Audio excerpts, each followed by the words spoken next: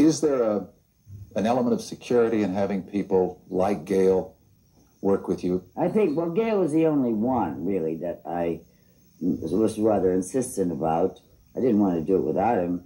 Uh, if Vivian had, would still be with us, it would be Vivian and Gale, you know? But uh, I wouldn't want to have even started without Gale. You mentioned Vivian. Yeah. Would you ever consider doing a, a another show with? Because I'm assuming that this that Lucy is going to go on forever. That's what we're all assuming and hoping. Would you ever consider doing another show with a woman? No, sir. Right. She was the best. No, I can think of working with Gale, but not uh, not the other way around. And I just I just can't imagine it.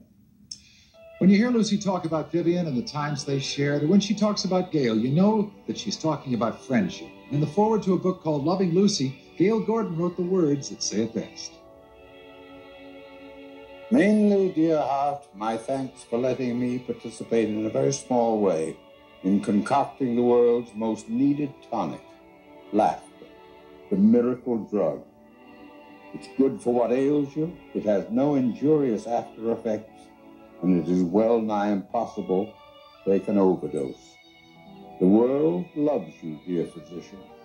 You have soothed our aches and pains, you have lightened our burdens, and made our lives a little brighter. You have given television an added dimension by using it as a vehicle for making house calls.